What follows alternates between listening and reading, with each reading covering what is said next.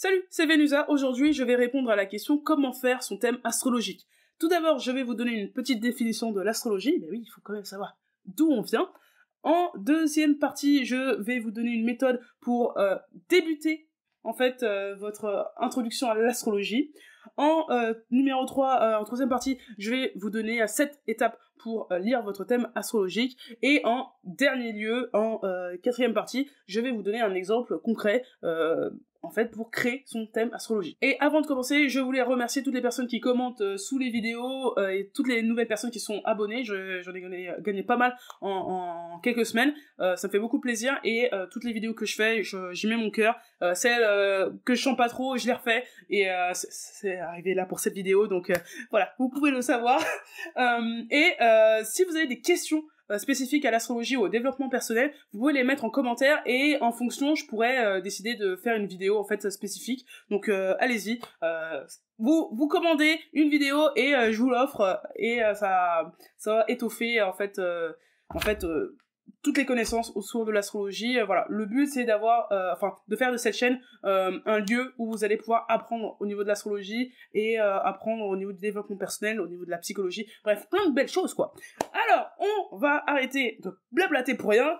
Alors, en premier lieu, l'astrologie, qu'est-ce que c'est? C'est l'étude des astres et l'interprétation des de l'action des corps célestes sur des corps célestes sur nous. Wow beaucoup trop de mots. Euh, voilà, j'ai fait, je m'emballe, mais euh, plus, simplement, en fait, euh, les planètes, les luminaires, les astres vont avoir différentes influences sur nous sur Terre et sur les animaux. Par exemple la lune va avoir une influence sur les marées. Donc voilà plus la lune est proche plus plus il y a de vagues voilà dans les marées bref. Donc le but de l'astrologie c'est de pouvoir comprendre en fait d'où on vient et potentiellement quelle est notre carte euh, de vie mais sans forcément être euh, un destin euh, gravé dans le marbre. Le but de, pour moi de l'astrologie est de l'utiliser comme un outil de développement personnel et en fait de donner des accents en fait sur différentes faces ou phases ou facettes de votre vie. Donc vous pouvez apprendre beaucoup avec l'astrologie et vous n'avez pas besoin d'être euh, convaincu à 100% ou euh, de regarder euh, l'horoscope quotidien, ça on s'en fout. le but c'est en fait regarder ce qui marche pour vous et améliorer en fait vos points forts, essayer de limiter vos mauvaises habitudes et devenir une meilleure personne en fait. Je pense que c'est un bon challenge et bref, vous vous décidez en fait de ce que vous voulez mettre en valeur et euh, dans votre vie. Donc décidez, décidez et euh, soyez acteur de votre vie. Alors, en deuxième partie, donc, euh, méthode avant de débuter l'astrologie. Alors, en premier lieu, posez-vous des questions sur vous. vous devez être la personne qui peut le mieux vous décrire. Qu'est-ce que j'entends par là? C'est que les personnes, en fait, attendent à chaque fois qu'on leur pose la question pour se demander attends mais qui je suis euh, c'est vrai qu'est-ce que j'aime euh, euh, non. Vous devez savoir en fait vous présenter en 10 secondes chrono à n'importe qui. Vous n'allez pas forcément tout dire sur vous mais pour moi c'est important de savoir en fait qu'est-ce quelles sont mes forces, mes faiblesses, euh, qu'est-ce que je veux améliorer et euh, qui je veux devenir euh, dans, mon futur, dans mon futur. Donc posez-vous des questions sur vous et ça, ça vous permettra en fait de ne pas être manipulable. Donc ce n'est pas parce que moi je vous dis voilà un bélier c'est x y z que c'est forcément vrai avec vous. Vous devez savoir si ça peut résonner avec vous et si vous pensez que ce que je dis a du sens dans votre vie. Des fois, ça peut ne pas l'être et euh, c'est pas parce que moi je dis n'importe quoi, c'est parce que ça ne correspond pas à votre euh, chemin de vie, tout simplement. En deuxième lieu, connaître ces informations. Donc vous devez connaître votre date de naissance, votre lieu de naissance et euh, votre heure de naissance. C'est très important, c'est très basique, mais beaucoup de personnes ne le savent pas. c'est comme c'est comme le, le, groupe sanguin, les gens ne, ne savent pas. Peut-être les gens connaissent peut-être moins leur groupe sanguin, mais vous devez regarder votre carnet de naissance, euh, enfin bref, le document officiel euh, qui dit que vous êtes né à telle heure, à tel endroit, euh, tel jour, pour en fait connaître le plus d'informations pour votre thème astrologique. Vous allez déjà connaître donc quel est votre signe solaire. Vous êtes né fin fin décembre, vous êtes peut-être Sagittaire ou Capricorne. Mais juste ça, ce n'est pas assez. Donc allez plus loin, connaissez vos informations personnelles. En numéro 2, connaissez quelques notions sur l'astrologie. C'est tout bête, mais en fait, quand vous avez la roue là du zodiaque, bah, vous ne pouvez pas vraiment interpréter. Vous ne connaissez pas les glyphes, vous ne connaissez pas tous les symboles, les aspects, les machins et malins. Vous n'êtes pas obligé de tout comprendre, pour l'instant. Euh, le but c'est d'y aller progressivement, mais euh, savoir que euh, le soleil c'est votre essence et qui vous allez devenir au fur et à mesure de votre vie, c'est déjà c'est déjà bien. la lune ça va être tout ce qui va être au niveau émotionnel intérieur et tout ce que vous voulez peut-être protéger réellement, etc etc. Donc avoir ces petites notions peut peuvent vous aider et si vous, vous, vous y connaissez en mythologie, ça peut aussi être très intéressant ou en chevalier du zodiaque ou euh, Sailor Moon, bref, euh, euh, tout ça là, ça peut, ça peut vous aider. En numéro 4, vous allez aller sur un site Astrodienst ou Planète Astrologie, c'est les deux que je recommande, je trouve que ce sont les plus pertinents. donc voilà, vous allez aller dessus, je vais vous montrer juste après, vous inquiétez pas, vous inquiétez pas. Et en 5, capture d'écran, capture d'écran de votre thème astrologique, là, la, roue, vous devez l'avoir sur vous, enfin, ou dans un endroit où vous allez pouvoir un peu travailler. Pas un peu, vous allez pouvoir travailler votre thème astrologique et comprendre en fait ce qui se passe dans votre vie, ce que cela indique et si ça euh, correspond en fait avec euh, vos, vos, observations. Donc euh, le but c'est pas de juste regarder aujourd'hui et de regarder peut-être dans six mois votre thème astrologique. Je trouve que c'est pas assez pertinent et en, en, six mois vous allez vraiment beaucoup changer ou pas du tout. Ça m'étonnerait mais vous allez quand même changer. donc si vous l'avez toujours, euh, cette capture d'écran, déjà vous n'avez pas à chaque fois refaire l'effort de remettre toutes vos informations, et vous l'avez directement en, euh, en 10 secondes, c'est bon, vous l'avez, et vous pouvez euh, confronter en fait, bah voilà, je suis Tati, apparemment c'est un moment compliqué de ma vie, est-ce que c'est c'est réel? Et si oui, pourquoi? Sinon, pourquoi pas? Alors, ça c'est bon, c'est fait, ça c'était les petites étapes avant de débuter l'astrologie, et comment on lit son thème astrologique. Donc en fait, je vais vous donner les étapes, euh, les sept étapes directement, et on va faire l'exemple en même temps parce que sinon je vais trop parler et euh, j'adore ça. Alors, en numéro 7, euh, en numéro 7, en numéro 1 plutôt, lire son thème. En premier lieu, il faut trouver votre soleil. Donc vous êtes, comme je l'ai dit, né fin novembre, vous êtes peut-être Sagittaire ou Capricorne. En deuxième euh, étape, vous regardez l'ascendant. Ça va vous donner euh, en fait votre planète maîtresse et celle qui aura une euh, la plus grosse dominance dans votre thème astrologique. Donc et vous verrez aussi à, côté de quelle planète elle se situe. En, trois, en troisième étape, vous regarderez la Lune, où est-ce qu'elle se trouve? Ça va aussi vous donner des indications au niveau de ce qu'il vous faut pour être nourri émotionnellement et comment vous voulez être soutenu, en fait, en, privé, entre autres. Euh, en numéro 4, vous regardez les autres planètes. Donc vous avez déjà euh, votre planète maîtresse, mais euh, Vénus, Mars, Mercure, allez, pourquoi pas Jupiter, ça peut être aussi intéressant de mettre l'accent sur eux pour voir comment vous réagissez dans certains domaines de votre vie. En 5, vous avez les maisons. Donc les maisons, c'est... alors, j'ai dit domaine juste avant, mais c'est différents secteurs, mais c'est vraiment précis. Donc là où la maison 1, ça va être l'apparence physique, la maison 4, ça va être plutôt vos racines, et euh, votre famille. En 7, ça va être euh, un partenaire potentiel, donc que ça soit ami, amour ou business, ou même les qualités que vous ne pensez pas avoir, mais que peut-être en travaillant, il y a moyen que vous les ayez. Et en 10, votre carrière professionnelle potentielle, ou alors ce qui peut vous remplir au niveau sociétal, en fait.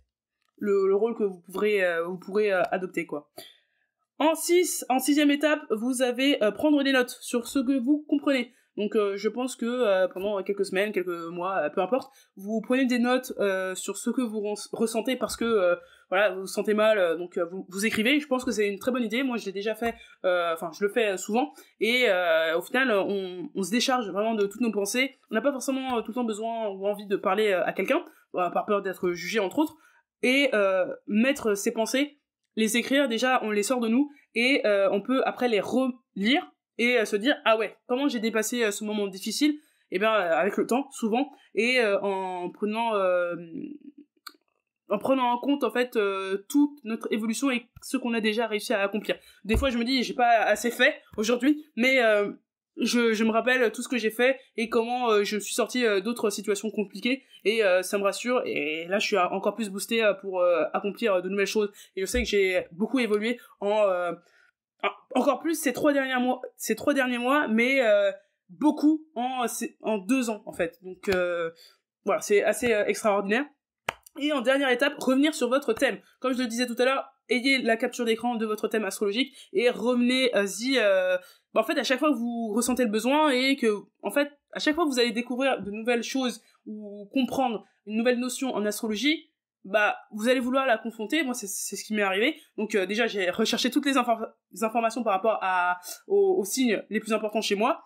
Euh, entre autres balance et euh, au fur et à mesure là j'ai essayé de les confronter est-ce que c'est ça? Est-ce que c'est vrai? Pourquoi c'est vrai? Pourquoi c'est pas faux? Enfin et c'est une vraie découverte en fait. Donc je, je, je vous transmets là toute cette énergie euh, justement pour que vous ayez aussi euh, le courage et euh, pas ouais n'ayez pas honte là d'aller chercher l'astrologie machin. C'est pas forcément un truc de meuf bizarre ou de ou de vieille personne. C'est c'est c'est important et pertinent de savoir qui on est et d'utiliser des outils en fait qui ont déjà fait leur preuve auparavant hein, c'est pas n'importe quoi l'astrologie et qui nous permettent en fait d'avancer et de vraiment nous d'être droit, droit dans le bot, ouais, bon, c'est pas vraiment ce que je voulais dire, mais de vraiment comprendre et asseoir notre autorité et notre fermeté par rapport à qui on veut être dans notre vie. Et ben voilà, ça c'est tout gentil, c'est tout beau. Alors on va commencer directement Très bien, à présent on se retrouve sur mon ordi, voilà. Euh, donc je vous recommande Planet Astrologie et euh, voilà, donc euh, on tape directement. Je cherche toujours en navigation privée, un peu par parano, donc voilà, vous pouvez le faire. moi je préfère me dire qu'il y a une petite petite sécurité à ce qu'on ne retrouve pas à chaque fois mes informations privé euh, lorsque je, fais un thème astrologique gratuit. Voilà.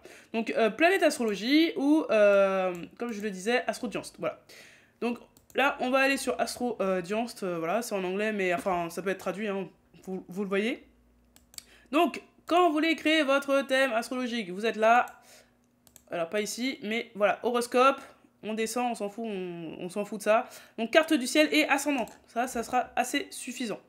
Donc voilà. Euh, ah bah voilà, parce que je l'ai fait juste avant, quand même pour euh, tester. Donc, très bien. Alors, comme je l'avais fait un peu tout à l'heure, mais euh, pour vérifier quand même, hein, le tout. Bon, très bien. Alors, maintenant, on va faire le thème astrologique de quelqu'un qui n'existe pas, ou peut-être, je ne sais pas. Thomas. Thomas, voilà. Ouais, c'est mieux avec un H, on va dire. Voilà. Euh, dit Cette fois-ci, ce sera un homme. Date de naissance, il est né le euh, donc 18 euh, avril 1987. Euh, voilà, il a 35 ans. à 13h50, voilà. J'ai choisi les, trucs au hasard, hein, juste pour avoir un truc. il est né donc en France. Voilà. Ah, Féoé. Euh, il est né en France, à, dans la ville de Lyon. très important. Euh, voilà, Lyon en France, voilà. Donc voilà les, les, informations que vous devez rentrer. Et on a déjà les, des petites infos ici. Mais voilà, on va laisser le truc se générer. Et voilà votre carte du ciel. Donc vous avez tout ça. Et euh, à présent, là, on va rester sur l'image fixe. Donc là, vous avez votre euh, thème astrologique qui est généré. Donc qu'est-ce qu'on fait euh, Comme je, on reprend euh, le, les étapes dont je parlais précédemment. Donc numéro 1, le soleil. Où est le soleil? Le soleil, 18 avril, vous savez que normalement, enfin, non, vous pouvez savoir que vous êtes bélier. Et donc en effet, le glyphe du soleil, c'est lui là. Il est là et vous le voyez aussi sur le côté directement, soleil, lune, donc soleil à 27 degrés, bélier. Euh, donc c'est vraiment sur la fin, hein, parce que sûrement le, le 20, le, le 20, 21 mars, euh, déjà, on, change, enfin, le 20, 21 avril, on, on bascule en taureau, donc c'est pour ça qu'on est vraiment à la fin du bélier. Euh, donc voilà, là on voit le soleil en bélier, donc c'est euh, quelqu'un qui, qui, a un tempérament de feu, euh, qui initie les choses, qui n'aime pas être contredit, il aime avoir ses idées et les poursuivre, et vraiment être arrêté à chaque fois par oui mais est-ce que t'as pensé à ci, est-ce que t'as pensé à ça Non, non, non, les détails on s'en fout, on y va Et en fait, j'y pense quand je commence une série, donc j'en ai fait que deux là pour l'instant, mais quand je commence une série, à chaque fois, la première vidéo, donc avec le bélier, et eh ben c'est pas ma meilleure vidéo, je trouve, au niveau technique et au niveau de l'expression. Parce que en fait, c'est la première et je ne sais pas encore comment je vais orienter le reste de la série.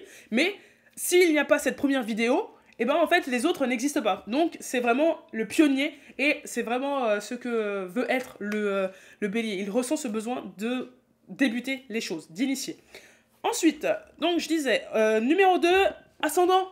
Alors, ascendant lion. J'ai pas fait exprès, c'est encore un signe de feu. donc là, l'ascendant lion, cela signifie que la planète maîtresse de Thomas est le soleil. Parce que la planète du lion, c'est le soleil. Et le soleil, où est-ce qu'il se trouve? Il se trouve en bélier. Et le bélier, c'est l'endroit le mieux pour le soleil, parce que c'est euh, la position exaltée. J'en parlerai une autre fois, mais en gros, c'est un soleil qui est encore plus fort que, s'il était en lion, et il est vraiment, euh, il est vraiment poussé intérieurement et euh, aussi au niveau de la société pour agir comme un lion et être, ouais, être un un initiateur, mais aussi quelqu'un qui va réussir à galvaniser les foules, à être un inspirateur, à vraiment provoquer euh, des choses chez les gens pour qu'ils puissent entrer dans leur courage et affronter euh, les, choses, euh, les choses de la vie avec, avec force, avec conviction et en étant droit dans ses bottes. Voilà. Donc il, va apparaître comme cela Thomas aux yeux des gens qui peut-être ne, le connaissent pas beaucoup. Et enfin, euh, enfin, troisième, euh, troisième étape, la Lune. La Lune qui est en Sagittaire et qui est aussi encore un signe de feu. Donc, ça n'était pas prévu. Hein, donc, euh, les étoiles sont avec moi cette fois-ci. et donc, là, la Lune en Sagittaire signifie qu'il il a certainement une volonté de vouloir s'expatrier, de voyager, de faire peut-être de hautes études, de, de, continuer en fait son apprentissage durant toute sa vie et de pas forcément se fier à ce que disent les gens, mais à expérimenter la vie et euh, chacune de ses croyances, en fait. Donc il peut même, euh, pourquoi pas, changer de confession, euh, se trouver une religion, devenir un gourou, peu importe. Mais en fait, c'est vraiment un besoin pour lui de se trouver et de peut-être se perdre dans le monde entier ou dans différents mondes pour savoir qui il est. Alors, on a quand même euh, quelque chose d'assez euh, euh, modulable, je sais pas trop, parce que là il a un, il a un signe cardinal, donc pour le soleil, il a un signe fixe pour son ascendant et il a un signe mutable pour sa lune, donc c'est assez mélangé, mixte pour le coup, mais c'est beaucoup d'énergie de feu, donc il peut apparaître comme quelqu'un de très détaché, très indépendant, qui a peu besoin de personne en fait. Euh, c'est un self-made man, euh, il n'a pas besoin de vous et euh, il va créer sa vie du début jusqu'à la fin et ça sera juste lui. Donc certaines personnes peuvent être blessées en fait par son côté égocentrique et même insolent en fait par moment. Donc ça va être un challenge je pense pour Thomas. pour en fait, pour euh, se connecter aux autres et arrêter d'être euh, celui qui confronte ou euh, celui qui est là en mode ouais, mais non, mais de toute façon, moi je sais faire, non, mais voilà, moi je vais faire le show. c'est bon, Thomas, on n'a pas besoin de tout ça, ok? Donc sois efficace et pas besoin de ramener ta fraise à chaque fois. Très bien. Alors, en numéro 4, il y a les planètes personnelles, donc euh, Mars, Vénus, euh, Mercure, entre autres, euh, et pourquoi pas Jupiter. on va juste parler de Mars ici parce que c'est la planète du bélier. Et là, Mars se trouve en Gémeaux. Donc, au niveau sexuel, par exemple, il peut regarder, sexuel et amoureux, passionné, il peut regarder la vidéo que j'ai faite sur le, le Gémeaux par exemple, et sa sexualité, ainsi que le bélier et sa sexualité, voire même Sagittaire et sexualité. Donc euh, bélier, gémeaux, Sagittaire, pour moi, il devrait regarder les trois vidéos pour en fait faire un, euh, un pot pourri et euh, retirer ce qui résonne le plus avec lui. Donc Mars, Mars en gémeaux, donc il a un côté... son agressivité, il va réussir à l'adoucir plus que le reste de son, de son thème astrologique et à voir les deux côtés, par exemple, lorsqu'il veut affronter un, un, un, problème, entre autres. Et euh, il va être très expérimentateur, euh, vouloir sûrement jouer avec ses mains euh, au niveau sexuel, et il veut tout le temps être diverti aussi. Il veut pas se faire chier. De, de, base, le, bélier n'aime pas en fait le train-train basique, il veut quelque chose de, de, fort, de puissant, et le gémeaux va lui apporter ça au niveau de sa passion. Très bien. Ça, c'était planète. En 5, les maisons. Alors, vous voyez là la maison, hein, voilà, c'est le, petit 1 là qui, qui, est pas très visible, mais voilà, ça c'est la maison 1. Et en fait, sa maison 1 commence à la moitié quasiment du signe du lion. Donc ça peut arriver. Donc ça c'est le système Placidus. C'est pas très important, mais ça décale les maisons. Donc sa maison 1, c'est le lion, voilà, comme je le disais. Il va, il va avoir aussi une apparence physique de lion, donc euh, plutôt sportif. Euh, ouais, là c'est vraiment un sportif, il peut pas tenir, euh, tenir sur ses jambes. Il faut qu'il fasse des activités, qu'il s'exprime, qu'il le dise, qu'il le montre, qu'il le crie. Bref, il, il, doit être présent vraiment physiquement. donc alors, en maison 4, 1, 2, 3, 4, c'est le scorpion. Donc, euh, au niveau de sa famille, au niveau de ses racines, ça a pu être, il a pu euh, peut-être euh, connaître un décès euh, ou euh, euh, un abandon, peut-être un divorce compliqué avec, avec ses parents, ou un parent qui pas, qui pas, avec qui il n'a pas grandi, vu que il y a un certain bagage émotionnel, et en plus il y a Pluton là, en scorpion, il y a un certain bagage émotionnel au niveau de, de, sa famille, où il a peut-être été isolé, ou il y a un certain tabou au niveau de sa famille ou de son enfance, donc toute cette partie-là, il va la garder secrète et il va lui falloir du, falloir du temps et vraiment euh, de la réflexion euh, pour euh, dépasser peut-être ses traumas au niveau de sa famille. Alors, en maison 7, 5, 6, 7, c'est le verso, signe opposé au lion, il n'y a rien. Tout simplement, comme Vierge, Balance, Cancer ou Taureau, il n'a rien du tout. Donc, ce qui peut quand même être pertinent, c'est de voir peut-être les qualités qu'il recherche chez une autre personne. Donc euh, un partenaire euh, business, euh, un pote, quelqu'un pour une relation amoureuse. Qu'est-ce qu'il recherche peut-être qu'il n'a pas encore Est-ce que c'est peut-être le détachement émotionnel, le détachement au niveau du regard des autres? Est-ce que c'est de vouloir en fait pas juste bâtir sa vie pour lui, mais léguer quelque chose à la société? Il y a peut-être des choses à creuser à ce niveau-là, peut-être pour son descendant, et euh, vraiment ce qu'il veut regarder et qu'il veut voir chez d'autres personnes, peut-être. Alors, on continue, 8, 9, 10. Donc sa carrière euh, professionnelle, pareil, il n'y a aucune maison, euh, enfin il n'y a, aucune planète, mais ça ne veut pas dire qu'il n'y a rien. Donc peut-être qu'au niveau de sa carrière professionnelle, il pourrait préférer quelque chose de moins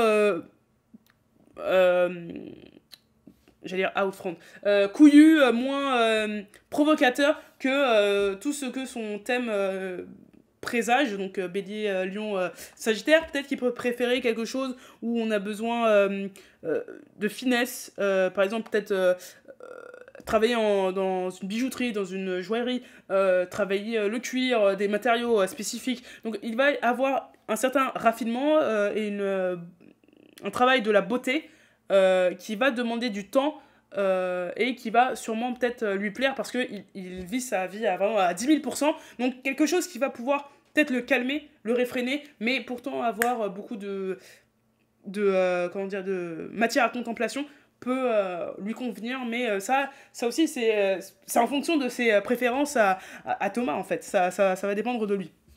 Et enfin, euh, alors prendre des notes. Donc Thomas, j'espère que tu as pris des notes. Et 7, euh, euh, revenir sur son thème. Donc là, capture d'écran, comme je disais, et vraiment voilà, le lire, le relire, son thème, parce que là, je suis allée assez vite. on dirait que j'ai un train à prendre, mais il y a encore plein d'informations. Donc, il y a déjà tous les autres placements, les degrés. Enfin, bref, il y a encore plein d'informations, mais c'est vraiment passionnant l'astrologie. Donc, Thomas, euh, j'espère que tu as écouté et que euh, tu as pris des notes, mais euh, aussi pour toutes, les, personnes qui ont écouté. donc je vous remercie encore de m'écouter, de, me suivre. c'est vraiment super d'avoir encore plus d'abonnés. je me dis que je parle pas dans le vide, mais de toute façon, je parle un peu dans le vide parce que la vidéo est déjà enregistrée et vous la regardez bien après. Donc je vous remercie. si vous avez des questions, vous les mettez en commentaire, je vous réponds et ça sera un vrai plaisir pour moi. C'était Vélusa, je vous dis bonsoir, bon appétit, à plus tard.